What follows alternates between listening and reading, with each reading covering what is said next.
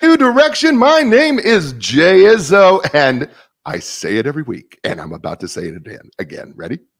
It's going to be a great show. I am telling you, this is going to be a great show. Uh, the book is entitled Catalytic Leadership uh, 12 Keys to Becoming an Intentional Leader Who Makes a Difference. Let me, by the way, Dr. William uh, C. Attaway is, uh, is going to be joining us here. Let me just ask you something. Everybody, you know, wants to talk about leadership and everybody wants to be a great leader. You know, you don't want to be an average leader, right? No one wants to be an average leader. And nobody wants to be just a leader, and nobody wants to be just a leader with a title. You know, you want to be a catalytic leader. I don't even like that. Don't you like the sound of that? I want to be a catalytic leader. Come on. Who doesn't who doesn't want to make a difference? Who doesn't want to stir the pot? Who doesn't want to get things going? Who doesn't want to make things happen? Who doesn't want to do that? That's what a catalytic leader does right? That's what a catalytic leader does for his people. Catalytic, and by the way, to become a catalytic, catalytic leader, I'm, I'm just going to tell you something. These 12 principles that Dr. Attaway has uh, put together, I, I'm just going to tell you, you can apply them to your family, you can apply them to your business, uh, whether you're profit, nonprofit, whether you're small business, corporation, every one of these 12 keys to becoming an intentional leader who makes a difference is going to apply to you. Folks, this book is for you, right? Great quotes. I mean, timeless quotes, quotes that'll make a difference, quotes that you will want to keep in your brain and in your heart and in your mind and your soul and your spirit. I'm just telling you, it's that kind of a book. So uh, make sure um, you're going to want to check it out. You're going to listen to the show. Before we get to William, I do what we do every week, right? And we walk you through the four areas of your life, right? Here's the deal we are four part people. We are physical, mental, emotional, spiritual people. And as we've learned from interviews in the past, from dealing with special operations forces guys, and even a major general that we had on the show, right? They said the same thing. You know what? If you're not working on those four areas every day, you're not growing. And when you're not growing, you're dying. So we ask you what you're doing for your training every day in the physical, the mental, the emotional, and spiritual. And we rate your you rate yourself on a scale of one to 10. So for instance, the physical area. Scale of one to 10, one, my training is ugh, and 10, my training is woohoo, right?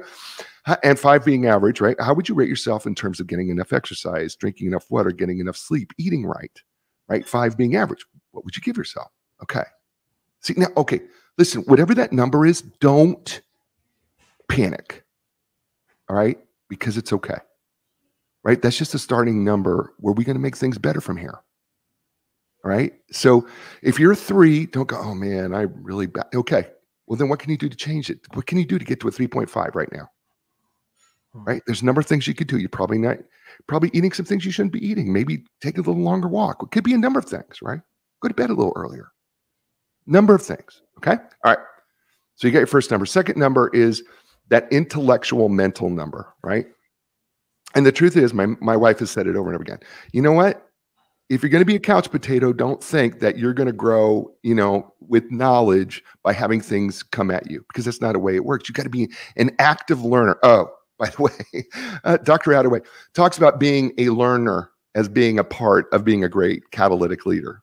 It's true. You can't you can't be a catalytic leader, you can't make a difference if you're not constantly learning. Because if you know it all, then I guess that limits how much you can lead. Huh. Got to be a constant learner. So, what are you learning to grow in your in your job, in your life, in your in your relationships? What are you doing? Right? How is that going for you? What are you doing the right things? Are you learning the right things? Are you active being an active participant? What's what would you give you for a number? Scale one to ten. Okay, that's your second number. Third number, right? That's your emotional number. And we make it real simple on the show, right? Emotionally, here's how we evaluate it. One, how well are you able to control your emotions? And yes, you can control them when you're under when you're under stress, pressure, right? Hangry, in a Christmas line, waiting, trying to find the right gift, Thanksgiving, families all over. How well are you able to control your emotions under those circumstances? I'll wait. Secondly, how well are you able to tap into and understand the emotions of others? Hmm, interestingly, Dr. William talks about listening in the book. You can't be a great leader if you're not going to listen. Can you? You got to be able to tap into the emotions and understand the emotions of other people. So let's of one to 10, how would you say you're doing there? That's your third number. Fourth number is the spiritual number. and I know that all over the world, there's a lot of people go, yeah, I'm not Jay. I'm, I'm not spiritual. I'm, I'm not a spiritual person. You know what the truth is? We all live by faith. We all do. We live by faith. We, the fact of the matter is, when you got your bowl of cereal out and you poured the milk on it, and you took that first spoonful, you believed it wasn't poisonous and you put it in your mouth. That took faith. When you took that sip of coffee, you thought it wasn't poisonous and you drank it. it you did it by faith. When you put your key in the car this morning and you turned it forward and you believed that it was going to turn on, guess what? You did that by faith. When you stepped off the curb and you saw the sign that said walk, right? You walked across the street. Why? Believing that no car was going to hit you because you live by faith. The truth of the matter is, we all live by faith. And you know what the truth of the matter is? We all run to something when things go south. When when when things go bad, what do you run to? Because I'm going to tell you something right now. Whatever you run to, that's your God. That's true. Sometimes people run to themselves and they rely on themselves. Well, then you're you've made yourself your own God. Whether it is God, whether it is nature, whether it is meditation, whatever it is that you run to, here's my question Is it working for you? And if it's not working, what do you got to do to change it?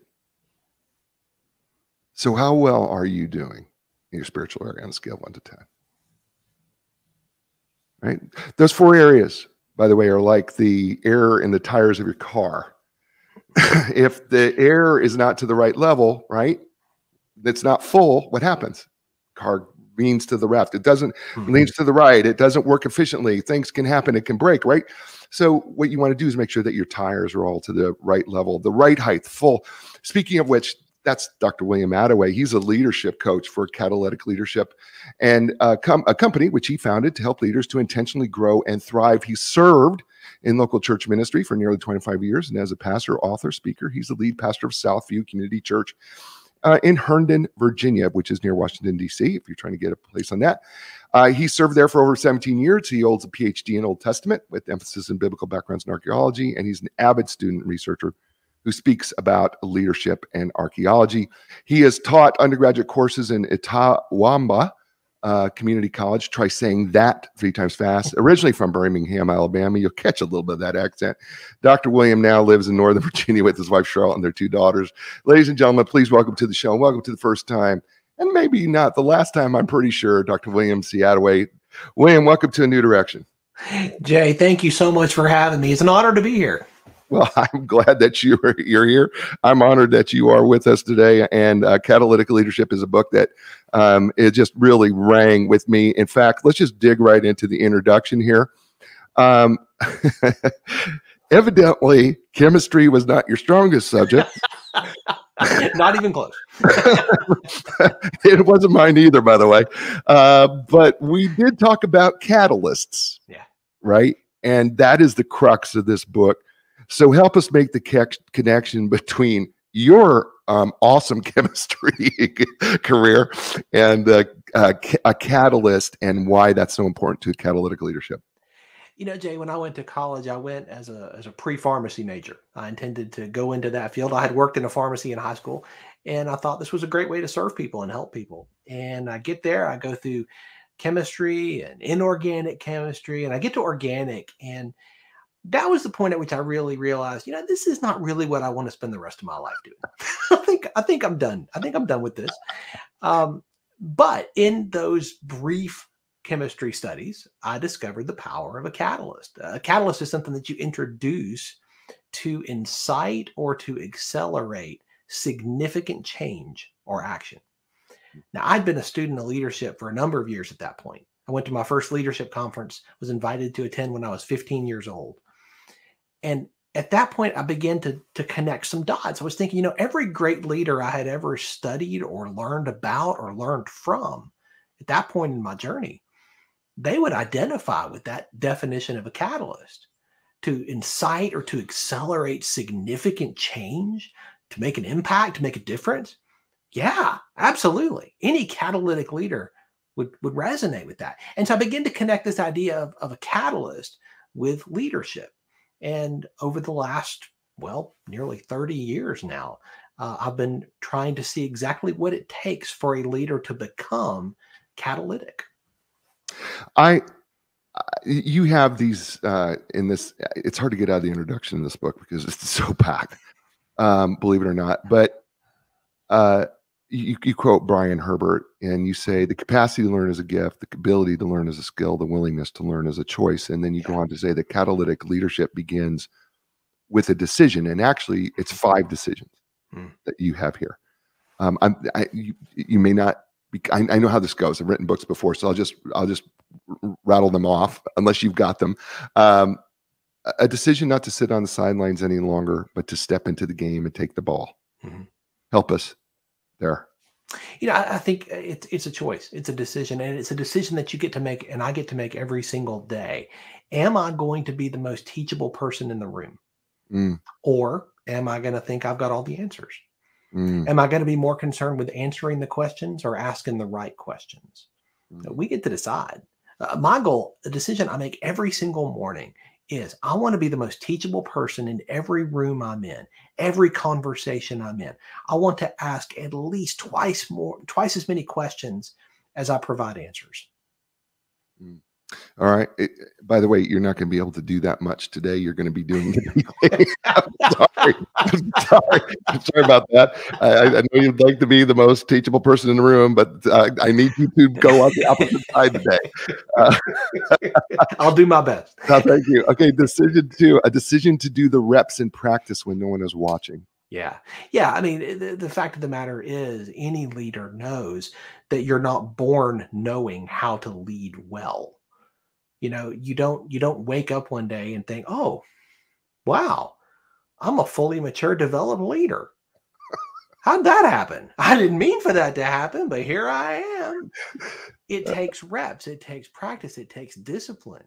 Yeah. you learn how to do this. It's a skill and like any skill it has to be developed. Yeah. what's your plan to do that? This one's interesting. A decision to eat smart. Hmm. Yeah, well, this goes back to, to what you were saying earlier, right? The fuel that you put in your body and the exercise that you keep your body in good condition with. This matters. Yeah. And we think it only matters to our physical health, but that's because we're trying to compartmentalize our lives. And the fact of the matter is, you and I are integrated beings. Every part touches every other part. If physically you are not in a good place, guess what? That's going to affect your leadership. Well, it, it, it, you know, we you know we talk a lot about other things, but it's really, really true. You know, exercise, mm-hmm. diet, sleep, uh, hydration. Yes. That the, there really are important pieces because you, you, I go back to the uh, airline when you're on the, mm. the flight oh, attendant, sure. yeah. the flight attendant, right? Yeah, right. And she says, you know, if the cabin should lose air pressure, mm-hmm. you put on your mask first exactly. and then then help others. Well, if you don't take care of the, by the way, the shell, right? right the exactly. only thing that you have, you know, you, you're you can't help anybody. that's, exactly it. I mean, if you have to make sure that you are in the best yeah. place you can be, so right. that you can help others. Yeah. I can't help anybody else if I'm not in a good spot. Right, right. Which which leads to number four: decision to make sleep discipline a priority. Mm-hmm. Yeah. Yeah. And I, I talked to way too many leaders for whom this is not even in their top 10 priorities in their right. life. Guess what? When I don't get enough sleep, I don't make great decisions. Yeah. I don't think that's just me. no, I don't think it's just you. Well, it, but but the, you, you know, here's the other part of that that is so true is that when we're tired, yeah, we're we've stretched our emotional bandwidth. Yeah, yeah. Oh, absolutely right? Absolutely. And so it makes it even you know difficult, more difficult for us to control our emotions when we're exhausted. Uh, absolutely. Uh, a, writer and speaker named Jon Acuff says it this way. He says, "I don't get smarter the later I stay up." Mm. Mm. I think that's brilliant. Mm. And, and he talks about this in the context of conversations and, and, and discussions with his wife, right? And they go in, sometimes late into the night. And he's like, you know, I realized one day I don't get smarter the later I stay up. Sometimes the absolute best thing you can do is say, you know what, we're going to put a pin in that. We're going to get a good night's sleep and we're going to tackle it fresh in the morning. Yeah. After we are rested. You keep trying to press, you keep trying to push beyond the point at which you're exhausted. Guess what? Bad things happen. Right. because physically and emotionally, you're not in a good spot. How can you lead when you're not in a good spot? Well, again, I'm, I'm just you, you just chi- there's things that I'm just thinking of, and I'm like going, well, when you're tired, you can't be creative. Oh, absolutely. Well, not not not good creative. Not productively. I mean, which which I mean, if it's true that every problem has a creative solution, Mhm. then ultimately that means then if we're t- exhausted, we can't be solving problems. That's right. That's exactly right. We are going to be limiting ourselves by the Right. choices that we make. Mm, mm. I hope you're hearing that out there, everybody. Okay. All right. Fifth, fifth decision a decision to choose what you want most rather than what you want right now. This one. ooh. Yeah, and I'll credit that one to Andy Stanley, who I first heard say that. You know, I think I think it's it's so important that we understand that distinction. And this is again true in all the areas that you listed earlier. You know, do I want good health or do I want a Twinkie? What do I want most versus what I want now, right? Right. Do right. do I want to be able to climb a flight of stairs without wheezing or do I want another bacon cheeseburger? You No. choose. Now, Doc, you cannot go bacon on me. Can't can't do that. That, I, that u- I use it on myself first. Bacon cheeseburgers are one of God's greatest gifts to us. I'm just. Amen, brother. I appreciate that. That's, that's absolutely true. Uh, yeah. So let's talk about the next piece of this because you say we are a product of our choices, but we also need to remember uh, today is a fresh beginning. Yes. And so put that together because you have these uh, beliefs. Uh, you have these, uh, what I guess there's seven beliefs um, that you have. That, um, but to help us help us walk through those first two pieces that we're a product of our choices. Yet today is a fresh beginning. It's true. Our choices define us, right? But we are not limited by our past choices. Mm. Every day is a new day. There is a fresh beginning. And and too many leaders that I talk to think that they are bound by mistakes that they've made in the past. Yeah, mistakes have consequences, right? When we screw up something, that, that has consequences to it, Right. no doubt. And, and and we have to own that right we can't we can't say well it's somebody else's fault we can't play the victim and we can't point fingers that neither of those is good leadership but we have to understand today is a new day. Today is a fresh start. Mm. we cannot be bound by what has happened because we get a new day. Every day is a new day. Every day is a fresh start. And one of the challenges that i will often use with leaders is to remind them you are not the sum of your mistakes. You are not the sum of your failures. Every experience, everything that has happened in your life thus far has happened for purpose. Right? You can choose to learn from it, right? Don't let it define you. Learn from it. But Mm. there's no such thing as a wasted experience. Right. Every experience is part of your journey. Yeah. What are you going to do with it? You going Right. to learn from it? Or are you going to let it limit you? You get to decide. Yeah, and and and I think I think here is this is where it gets difficult, right? Is because we want to just look at the good experiences that we Mhm. believe that Oh, yeah. lead us to where we are. It's it's not. It's the bad experiences too. Absolutely. It's it's our Absolutely. our failures are so important Mhm. to who we are and where we are today. Yeah. Right? show me a business leader who has never failed and i'll show you one who's never succeeded Mm. every successful leader that i talk to everyone i've ever coached everyone i've ever interviewed they want to tell me about their failures i interviewed a guy yesterday morning for my podcast mm. and we were talking about this and he just kept coming across and this is i failed here and then i failed here and then i failed here and then i failed here not because he was pointing to himself as a victim of all of those failures but because those were learning opportunities that helped to make him who he is now. Right. Those fed into the success that he has found now, Right. which would not exist without all of the failures that preceded it. Yeah, I I I also take a page here that says, you know, when you get test tested or when you are going through trials, Mhm. this is where um, you develop your perseverance. That's right. I've Uh, read that somewhere. I have too, and I've read that you know if you let perseverance do what it's supposed to do, it actually kind of matures you and makes you complete, so that you can handle more things down the road. So Yeah. I've I've I've kind of subscribed to the idea that sometimes when we when we're in the midst of trial or failure or we've blown it or we've messed up, this is this is where your resiliency gets developed. Mhm. And that resiliency is really what builds so much character eventually over the course of time. And so I right and i really believe that and as a leader i think you have to have you know show me a leader that's never failed and i won't show you a leader Uh, yeah, absolutely. absolutely. right the only way not to fail is to do nothing. it's so true his name is dr william c Attaway. the book is called catalytic leadership 12 keys to becoming an intentional leader who makes a difference you're listening to him here on a new direction hey folks look i have two outstanding uh, sponsors and and by the way if you want to be a sponsor of the show uh, i'd love to have you just contact me uh, at the show and would love to have you be a sponsor. But i got to tell you the elite team at epic physical therapy will provide you a customized treatment plan tailored to your individual needs whether they work with uh, young athletes professional athletes people like you and me. Look when you're ready for your epic relief epic recovery epic results don't look any further. Go to epicpt.com that's e-p-i-c pt.com and linda craft team realtors telling you more than 37 years they don't help people buy and sell homes. What they do is they help them make a life transition. Yes they do real estate but think of it this way. Every time you have lived in a home and sold moved it's been a life transition.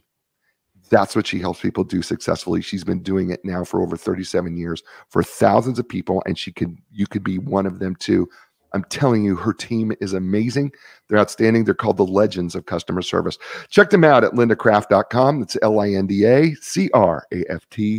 dot com and we're back here on a new direction uh, with william uh, uh, dr william c Attaway and his book, uh, Catalytic Leadership 12 Keys to Becoming an Intentional Leader Who Makes a Difference. Uh, we are going to start going into these uh, 12 uh, principles. So, you ready to go? Let's go. Let's go. All right. Uh, first one is cultivate a teachable spirit. Um, this one, uh, I, I don't know. Is this one uh, hardest? Is this, or I- would you say this is the most difficult one? Is this one that's the most challenging? Well, where does that fall on that line? I would define it as being the non-negotiable element. Like, it doesn't matter if you get the other 11 right. If you don't get this one right, uh, you fail. That's awesome. I love that. That's awesome. So let's talk about what does it mean when you say you got to have a teachable spirit? It's a decision, Jay. It's a decision to choose to learn. I'm going to learn. And here's the key I can learn from anybody in any situation. I'm going to walk into every conversation, every relationship, every meeting, every job, every circumstance in my life, understanding I can learn something here. Now, sometimes I'm going to learn what not to do, but that can be incredibly valuable. you know, uh, there are some people who who just will not who say, you know what, uh, you've got to be better than me for me to learn anything from you. and you're giggling because I'm laughing too, because I actually know these non-coachable people. Yeah. Right. That they that that if you're not if you haven't done as much business as I have, there's no reason for me to talk to you because you can't teach me anything. Yeah, I, I, I, that that is a way to live, uh, and that's going to be an example of somebody that I'm going to learn from what not to do. Uh, because why would you limit yourself like that? Why would you Mm. limit yourself and your opportunity to learn from other people and other situations and the experiences of other people? I I don't care where they are on the success spectrum. Mm. I can learn something from them, and I will because I'll ask questions and I'll come with a teachable spirit. But that's a choice. It's a decision that you and I have to make every single day. When we make it, we can learn. Like I said earlier, there's no such thing as a wasted experience if I have a teachable spirit. You talk about uh, if you're going to have a teachable spirit, you also have to have perpetual optimism. Yes. talk about why optimism is also coupled with a teachable spirit. No one will ever be more optimistic than the leader. if the leader is not optimistic, uh, do you really expect the team to bring that to the table? If the leader walks in and they start and they say, hey, you know, well, things are bad and they're going to get worse, and I can see nothing but bleak, cold, dark days ahead. Mm. Do you expect anybody else around the table to say, well, hey, you know what? I, I see them. I see, I see fantastic days. No, everybody's keying in to how the leader is leading. Mm. A leader has to have perpetual optimism. Mm. That's part of leadership. Now, that does not mean that does not mean that you ignore reality. I think Max De Pree is dead on. Uh, one of a leader's first jobs is to define reality as it is, not as they wish it were. Mm. Okay. So we have to define reality. You're not like sticking your head in the sand and pretending you don't see data. I'm a right. big fan of data based decision making. Right. That's a key to leadership. But it does mean that no matter where the numbers are, where the data is, do I believe there's a way to go forward? Do I believe the best days are yet ahead? And as long as I can believe that, I can lead. The minute I stop believing that, it's time for me to step back. Mm, that's awesome. When you, you quote Marcus Buckingham here, and I think this is a powerful quote the opposite of a leader is not a follower, it's a pessimist. Yeah, exactly. That's exactly. A, well, because what's a leader's greatest tool is to inspire other people. Mm. It's to inspire other people. Does pessimism inspire anybody? Have you ever been inspired by a pessimist who just wants to tell you what's wrong? No does, that, no. does that fire you up? Does that make you, oh, I can't wait, let's go? Yeah. No, it doesn't fire you. No, nobody's inspired by a pessimist. Mm. Mm. Yeah, that's that's that's that's awesome. I, I one of my favorite. uh, I learn from him still, uh, even though he's not with us anymore. Larry King, mm-hmm. you have mm. quote here in your book oh, says, yeah. "I remind myself every morning that nothing I say this day will teach me anything. Yeah. So if I'm going to learn, I must do it by listening. I never learned anything by talking." Yeah. Yeah. And that goes back to that attitude, that mm-hmm. posture. Am I going to have a learning posture in whatever situation I'm in, mm. a teachable spirit. Mm. It, it, it is reflected in the questions that you ask. It's reflected in the fact that you're asking more questions than you're making statements. Too many leaders like to hear themselves talk, and all they're concerned about is what they're going to say next.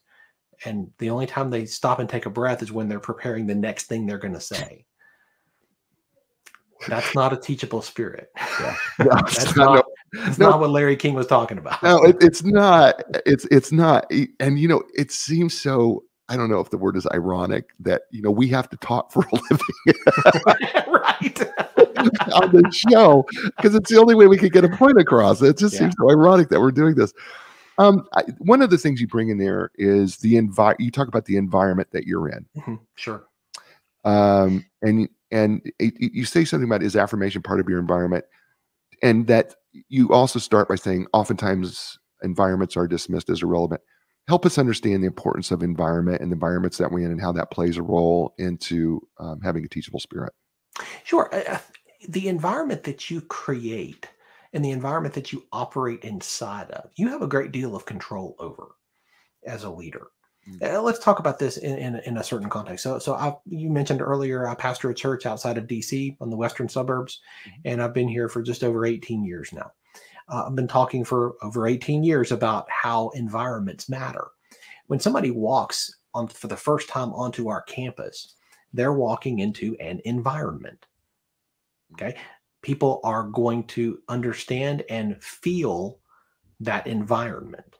Mm. Do they feel welcomed? Do they feel expected? Do they feel safe? Is the environment clean? If they've got kids and they go into the kids area, is that environment safe and clean and fun? Or are they worried about their kid the whole time they're separated from them? When they walk into the, the worship environment, are they walking into a place where they feel like, hey, you know what? They, they were expecting me. I, I, I went to visit a church one time and walked into their to their entry area and there were a couple people in their, um, I guess, part of their greeting team who were standing over handing out uh, bulletins that morning, and they were talking to themselves, talking to each other, and and they looked over at me as though, oh, what are you doing here? And that was the like that's how I felt. And I walked in and and took the bulletin and went and sat down. I made it from my car to the seat and back to my car, and not one person said a word. Mm. Did I feel expected? Mm. Did I feel welcomed? Mm. Did I feel valued? Mm. That is the power of an environment. Mm. Now, that's an environment that as a leader, you have the ability to, to create to a certain extent, right? But let's talk about as a leader, your personal environment. You decide the environment that you're going to operate in. Am I going to have an environment where I'm going to be learning? Am I going to have an environment where I'm going to be hearing and, and being poured into by, by words of affirmation? Or am I going to be in an environment that is full of pessimism and full of discouragement? Mm. I get to control some of that. Mm. Mm. Yeah. Yeah. You, you know, you, you go on in this, uh, you talk about, of course, the community, you know, around us. Mm-hmm. And because you know this is this is show is a book show and an author show and we try to help people in leadership and success and life business and and, and careers. And you talk in here you say that the average american reads three books after they graduate from high school. Mm, yes.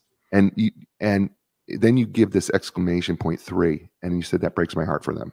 Um, and then you give this quote not every reader is a leader but one thing i've seen time and time again every great leader is a reader yeah Whew. I mean, that's I agree with you because that's why we do the show. I mean, I read a book a week for the show, right? Mm-hmm. Because I read it cover to cover because I know the power of reading yeah. books. And and I'm trying to get people out in the world to understand, you know, okay, you, here's a book, right? Do you hear what the author's saying about the book? you know, okay, why don't you get this and then yeah. fulfill yourself with it, right? But I I I I am I I I just so agree with um, what you're saying there in terms of uh, read, read, read, read. Um, the, one of the things I want to talk about is uh, you say there's a subheading, it's called I Am For You. Mm-hmm. And you talk about authenticity and humility. So help us understand authenticity and humility as it connects to being teachable. Yeah, this this the, the subheading there actually comes from a, from a work by Jeff Henderson, who has talked a lot about leaders helping to communicate a truth to those they lead and those they serve. I'm for you. I'm not against you. This is not about something I want from you. It's about something I want for you. Hmm. And his book, Know What You're For, is one I highly recommend. Leaders have the opportunity through authenticity, through transparency, to communicate that to those they lead. If all the people that they're leading if all they think is that you're just trying to draw something from them, right? You're just a cog in the machine, right? You're just you're just here to help accomplish my goals, my dreams, and I'm just going to take what I need from you. You come and we'll trade your energy and your expertise and your time for dollars. Well, guess what? That's that's how you've made them feel. Mm. What if they knew that you were actually for them as a person, that you saw them as a 3D human being, that you wanted to help them to succeed and to thrive with the dreams and the goals that are in their heart. Here's what I've discovered when I treat my team members as actual 3D human beings, when I pour into them and invest in them and help them to understand that I'm for them, not for what they do, but for who they are. When I help them to understand that, that doesn't mean that that they bail at the first sign, the first chance somebody offers them a buck more an hour or whatever. You know what? They lean toward me. They're going to lean into what we're doing together because they feel valued. They feel like someone is in their corner, someone is for them. Leaders have the opportunity to do that. We serve those we lead first and foremost. Yeah, and you know, it you got me thinking here, William, that you know we we're seeing a lot of quiet quitting right now. Yeah, yeah. And I'm I'm, I'm I it got me thinking in a different direction that you know we're blaming these people for quitting, but maybe we're not doing a very good job of valuing. Them. I think that's spot on, Jay. I think that the problem is that too many leaders have adopted the the old model of leadership where you sit in your corner office and you send out dictates do this do that don't do this don't do that how do people feel well they feel like they're being dictated to they're being directed they don't feel valued they don't feel a part of the team they feel like a cog in the machine Yeah.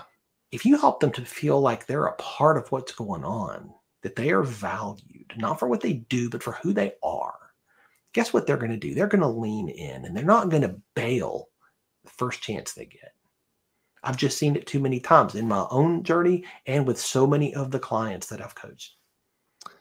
Yeah, I mean, I mean, you, you really got me thinking here. I mean, you know, maybe maybe this answer that maybe this we got this answer all wrong. We're blaming generations, right? We're blaming millennials or Gen Z mm-hmm. or whatever. But maybe we need to take a closer look at ourselves and say, what have I done to value them as a person? Because who wants to leave if you're if they're being valued? Yeah, it starts with leadership, Jay, and I think you're I think you're spot on. The easiest easiest thing in the world to do is point a finger. Yeah. Easiest thing to do. Point Yeah. a finger. It was their fault. They're lazy. They're you know easiest thing in the world to do. Yeah. Yeah, that's But you're asking you're asking the wrong. You're not even asking a question. right. You know, right. you start to ask the right questions, you're going to get the right answers. Right. We, yeah, well, we're we're attributing we're attributing the wrong why, Yeah, yeah, exactly. right? We're attributing the wrong why to it. That's that's beautiful. Um, okay, let's let's look at number two. I guess it's number two, right? Discover your wiring. Yeah. Right. So, okay, what what what do you mean by that? Discover your wiring. What are you saying here? I can hear them. I can hear the. I can hear them saying that. You know, you and I are different, Okay, We are wired differently. Stop it. I know, shocking, right? Shock. If if we were to look at our internal wiring, how we are designed, we're not going to be identical. And yet, so often when it comes to emerging leaders, they try to force themselves into a mold Mm. of a leader that they admire, a leader that they respect. And this is common and this is really pretty normal when you're early in your leadership journey. There's somebody that you you see from a distance or somebody that you worked for, and you're like, I, I need to be like that. And you try to fit yourself into that mold. And that makes sense at the beginning because you're trying to figure out who you are. But if all you ever do is try to fit into that mold, it's like trying to wear somebody else's clothes, right? Ultimately, all you're going to end up becoming is a bad copy of a great leader. What I want to do is help you discover how you are designed, how you are wired. And then let's lead from that, from that spot. Yeah. No, I I have said I have said this, you know, people say, Oh yeah, I want to be like Steve Jobs. I'm like, oh wait, wait, wait, wait a minute, wait a minute, wait a minute.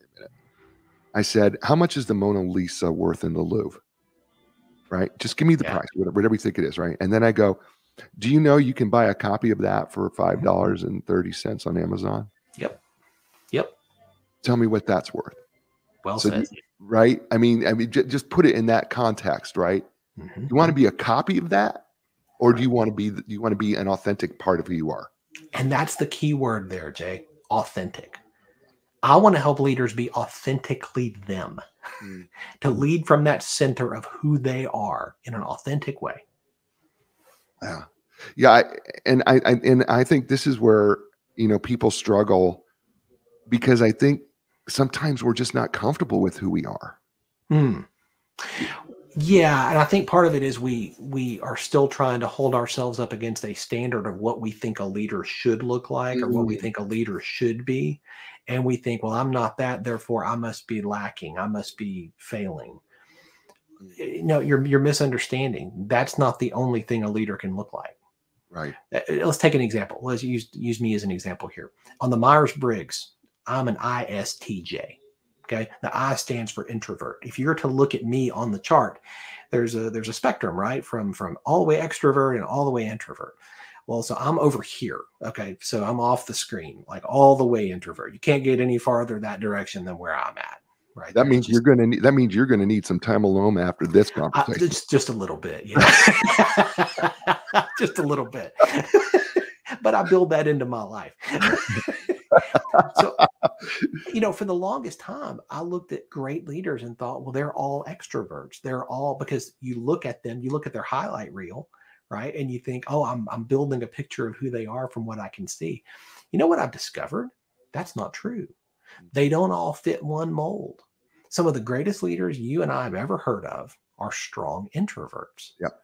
The key is do you manage it?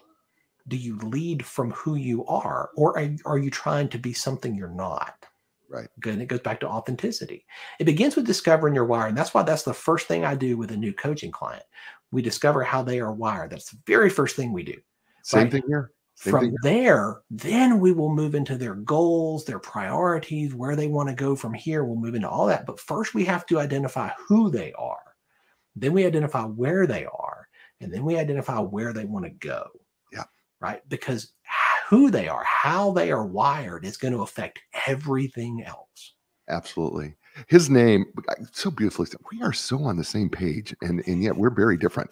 Uh, his name is Dr. William C. Attaway. The book, Catalytic Leadership 12 Keys to Becoming Intentional Leader Makes a Difference. You're listening to him here on A New Direction. Hey, folks, listen, Epic Physical Therapy. You know what? Here's the deal about Epic. You know what? They have the latest most cutting edge type line equipment like the AlterG anti gravity treadmill, Normatec compression sleeves. My favorite, the Game Ready. Eh, you know what? That's just a few. Listen, they're trained, certified, most comprehensive, cutting edge treatments available, eh, like blood flow restriction therapy, dry needling, cupping, and that's just a few. When you're ready for your epic relief, your epic recovery, your epic results, don't look any further. Go to epicpt.com. That's E P I C P T.com. And listen, Linda Craft Team Realtors, I'm just telling you, folks, that wherever you live in the world, they can help you in an unbiased way. Here's why I say that they do not belong to a national company. She has made relationships with the top real estate professionals in your area, period. If you want an unbiased, you know, approach to saying, I'm looking for some a great realtor in my area. Start with Linda and her team. They will find the best professional, regardless of the company, that will help you sell your home or buy your next home. If so, if you're ready to make that start and you want to make that transition, go with Linda Craft Team Realtors. That's lindacraft.com, L I N D A C R A F T.com. And we are back here on a new direction with my friend William Attaway. Uh, hopefully, he, you're enjoying this a little. I hopeful. I'm hopeful absolutely. I'm loving it. Good. I, am too. I'm, I'm, enjoying this. Uh, by the way, we will talk about our Clifton Strengths Finder because I know you're an input guy. So um, uh, we'll and and hopefully that's happening for you a little bit here. Um, let's look at number three: actively pursue intentional growth. What are we saying here? You know, again, I go back to this idea that nobody wakes up one day and says, "Hey, I'm a mature leader." How did that happen? Mm. if, if you want to grow as a leader, understanding leadership is a skill that can and should be developed, then that's going to mean you have to be intentional. And the only way you're going to stay intentional is if you actively pursue that. Mm. That again is a choice. And if I sound like a broken record by saying the word choice so often, hmm, maybe that's a theme we should pay attention to. Mm. mm. you mm. and I get to decide if I'm going to actively pursue intentional growth. We decide that. We decide that every single day. Right. Too often, a leader will get into a leadership role. And at the beginning, they have no choice because they're trying to figure it out. They're trying to learn. They're on a they're on a learning curve that's pretty steep, and they gotta they gotta stay into that posture. But over time, they begin to feel like you know I, I got this. I'm I'm I'm I got this now, mm-hmm. and they begin to throttle back, and that's the danger zone. Right. right. That's the danger zone because then you're going to start to drift a little bit. And you know what, Jay? You never, ever drift into excellence. You only drift into mediocrity. Ooh. And excellence inspires people, mediocrity doesn't. Mm. Yeah. Yeah. If you're intentionally going into mediocrity, you have a problem. You have to be intentional. yes, you do. yes, you do. yeah, so true. Uh, okay, let's bounce to number four. Uh, be boldly action oriented. Mhm. Talk about that. Yeah, you know, I, I think I think it's important to understand that that leaders want the ball, like we were talking about earlier. You know, like catalytic leaders are ones who want to make a difference. If somebody's going to toss you the ball in a game, you're like, no, no, I don't, I don't want it. I don't want it. Send it somewhere else. Let me help you out. You're probably leadership is probably not your gift, right? Right, And right. that's okay. You may you have other gifts, and we'll we'll help you find those. Right. But leaders want the ball because Right. they want to make a difference Right. right so if, if if understanding that then that means you are going to be bold in that you are going to be action oriented right you're going to have a bias toward action not toward passivity Mm, great leaders want to move the ball up the field mm. Okay, I, I know you're from Alabama, so you have a lot of championships at your home state. So um, I get it. So I understand the analogy going on there. Uh, we can talk about bear bryant if you'd No, like we- that- that's Nick okay. Saban. i mean we can that- that- that's okay. We, we can we can, we can leave that right there where it is. I, am going to say this though. You know, if you want the ball, right? Because I'm, I'm I, I want the ball, Yeah. and when it's crunch time, I want the ball. Yeah. Yeah. But that also implies that you're willing to take the risk. Absolutely. Absolutely. If you're not willing to take the risk, then you don't want the ball because taking the ball is, in fact, a risk Right. because you could fail. Right. Right. You could get the ball and you could you could get tackled. You could be on the ground. Right. Yeah, I mean that's I think this I think this is the thing, right? I think everybody says they want the ball until they understand okay, do you understand the risk involved here? Mm-hmm. Yeah. And I'm a person I'm a person who goes, you know what? Crunch time, give it to me. Yeah. You're not right or wrong, I'm going. Yeah. Right? I think that's and I think that's a huge I think it's a huge point because I think everybody says, "Yeah, I want the ball in crunch time." Okay, well, all right, you really you say that, yeah. but when it comes to your business, are you willing to risk it? Yeah, yeah. Absolutely. Are are you okay failing? Mm.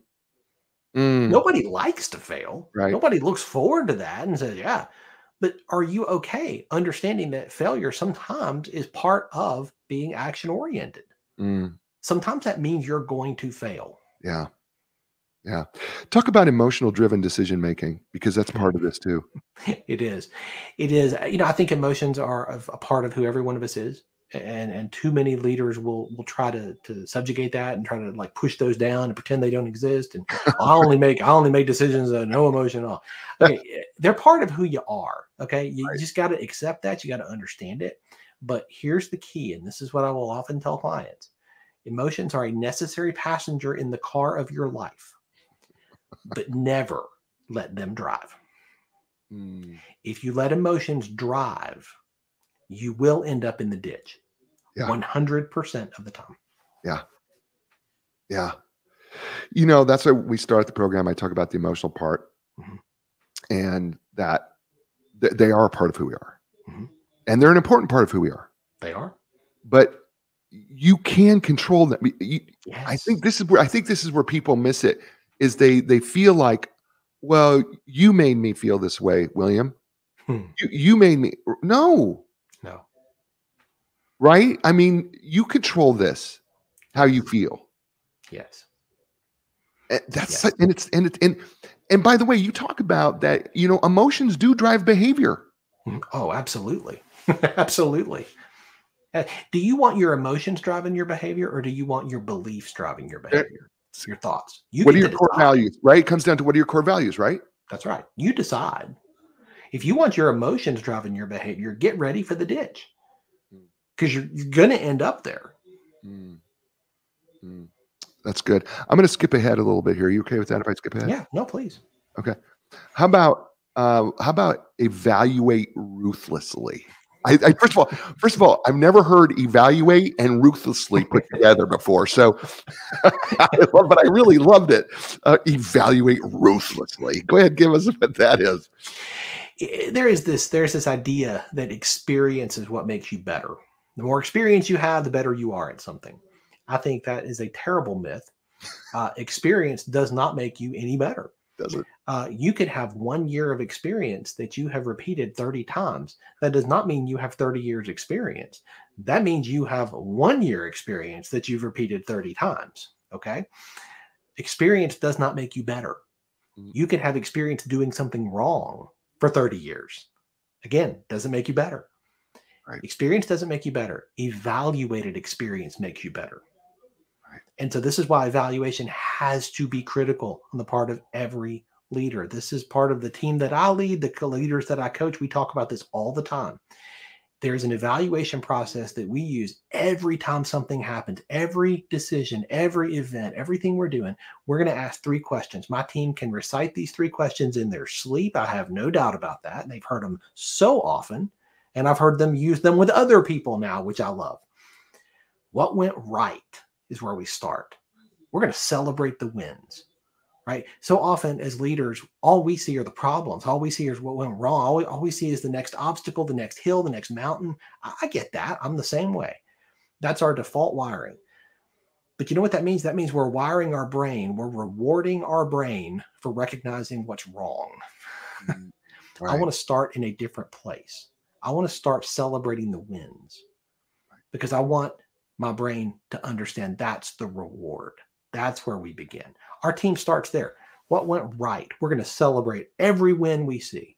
Then we're going to move to what went wrong because you have to move there. You have to understand what went wrong.